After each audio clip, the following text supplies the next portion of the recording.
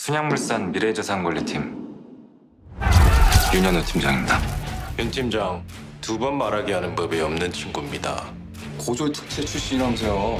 딱 만난 스펙 아니야? 막 부리기 쉽잖아. 부르셨습니까? 몇 건 있죠. 가서 해외로 유출돼 순양의 자산을 찾아오세요. 최선을 다하겠습니다, 부회장님. 누굽니까? 당신한테 이런 짓을 시킨 사람.